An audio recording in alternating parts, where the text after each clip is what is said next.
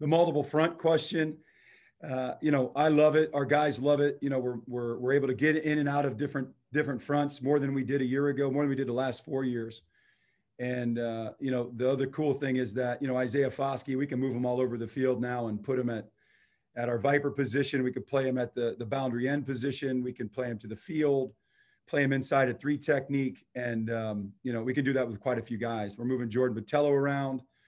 Uh, you know, Justin Ademilola is having a great spring. So we're moving him around. It's the multiple front and the fluidness of, of the, um, of, of Coach Freeman's package is, is really fun to, to work with and, and add to. Like we've added some things to it and uh, it's been really fun the first part, um, the the June visits, you know, we're we're obviously very very excited to to get young young people on his campus and their parents.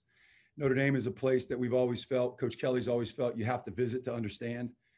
Uh, let's face it, you can go to a lot of campuses in the SEC and you see one, you've seen, you know, quite a few of them. You know, there, there's, you know, carbon copies of each other. But Notre Dame is different. We got to, you got to come to our campus, you got to see it. So what we're trying to do, we're encouraging the young players, the, the, the underclassmen to come early in June, just because the, the weekends will be very, very busy with, with official visits with our 2022 class. So we're just encouraging, you know, guys that are on official visiting to come during the week and early in June. And then um, obviously we have camps going on at that time if, if we're allowed to have camps, which we're, we're hoping we do.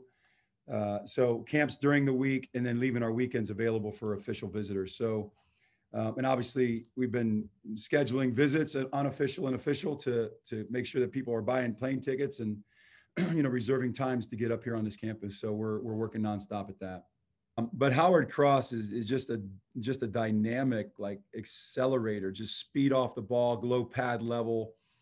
Um, you know, his his he finds ways into creases and and and gaps, and he's always in the backfield, and and he's quick with his hands, and he's He's got good speed and he's got really good agility.